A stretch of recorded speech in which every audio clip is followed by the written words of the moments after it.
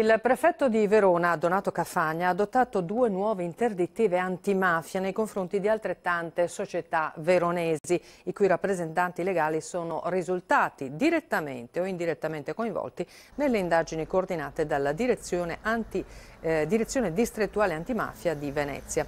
Indagini che hanno portato nei mesi scorsi alla individuazione nella provincia scaligera di associazioni a delinquere di stampo ndranghetistico, attive anche in ambito imprenditoriale. I settori sono quelli delle costruzioni edilizie e degli impianti fotovoltaici e tecnologici.